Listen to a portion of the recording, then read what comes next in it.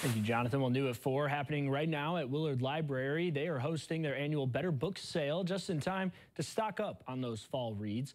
Organizers say the Better Book Sale offers a unique opportunity for both book lovers, collectors, and community members to acquire rare, antique, and special collection books.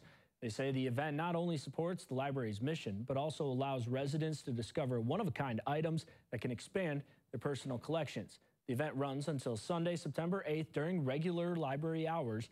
All purchases can be made using cash, check, or credit card.